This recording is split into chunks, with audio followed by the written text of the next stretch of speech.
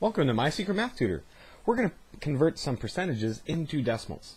Okay, so in order to do this, we want to find wherever the decimal point is in the number, and we're going to move it to the left two spots. Now, wherever this decimal ends up, we're going to put that in our new number, so 0.23, and then we're no longer going to write the, the percent sign, since it is now a decimal. Okay, so 23% is equal to 0.23. Let's try this for some other numbers. So in this next one here, I have the number 2, so 2%. My decimal point is essentially right here. And I need to move it to the left two spots. So let's see, 1, 2, and uh-oh. Looks like we need to put in a zero placeholder in order to move it those two spots. Okay, so this is equal to 0.02. And again, I don't write that percent sign anymore because it is now a decimal. All right, let's try another one here. So 0.05%.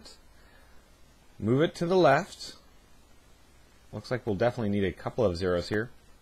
So this will be equal to 0.0005. All right, looking good.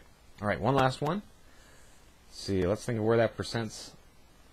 The decimal is right before the percent. So this is 200%. Let's move it over. So now the decimal is going to be right after the 2.